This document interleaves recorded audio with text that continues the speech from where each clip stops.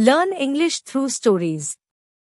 Today we are going to listen one story. The story name is The Pied Piper of Hamelin. Once upon a time, the city of Hamelin was filled with rats. They ran everywhere and ate up all the food. The people were so troubled that they went to the mayor. Please do something about the rats, they begged.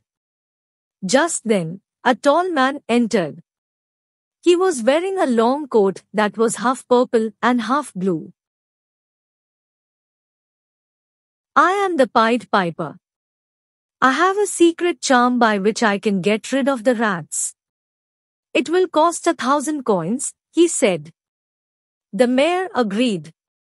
The piper took out his pipe and started playing a merry tune.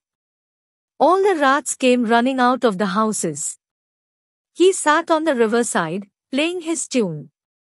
The rats ran into the water and drowned. The mayor was greedy and refused to pay the money. Then, the piper played another tune.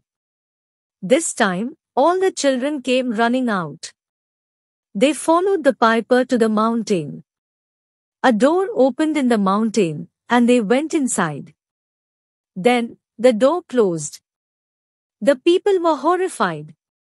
They went to the mayor. All the children are gone, please do something, they begged. The mayor paid the piper his money. The piper played yet another tune, and the children came back to their thankful parents. A German folk folktale. Great video. Mom, Yes. I found the good channel for study. Great.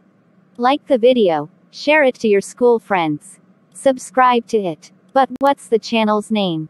Wings of Fire Academy.